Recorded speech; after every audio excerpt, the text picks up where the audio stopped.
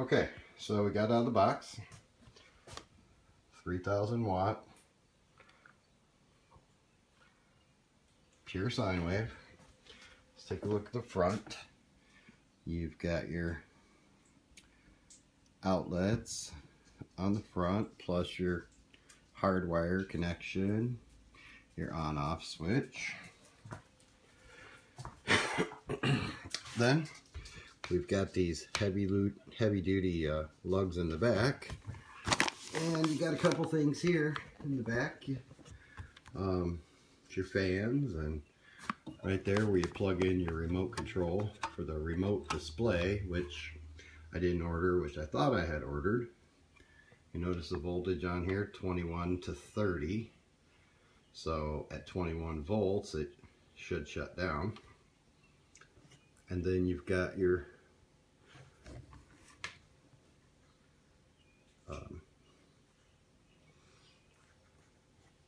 ground lug down there. Okay, so anyway, I had this out of the box already. I put it all back in the box just let you guys kind of see what it looked like in the box and get it all out of there, but it's pretty heavy. It's 22 pounds. A little more than my last power inverter. I think it was 2,000 watts and weighed about 7 pounds, so it was quite a bit different. Um, comes with these big connectors that go over top of the terminals when you put your cables on it. And uh,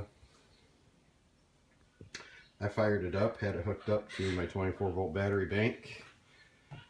I have the dip switch in the front. On power save, on the lowest input for power save, which according to the manual I downloaded says less or larger than 7 watts. Well, in this power save mode, which is supposed to be the lowest, it wouldn't fire up on a on a 10 watt LED light bulb. So I guess that's okay.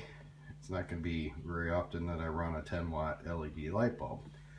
So, but I did plug in a, a four foot fluorescent tube, which is about 23 watts, and it turned right on.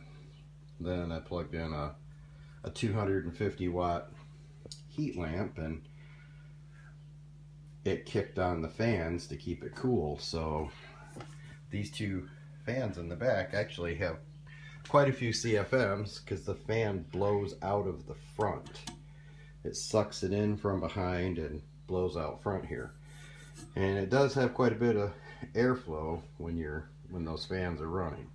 And they're really not too loud I mean, I guess depends on where you have your power inverter at. They could be a little annoying, but it's not really that loud.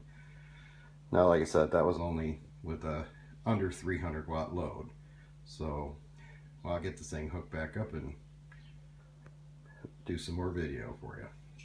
Thanks, bye.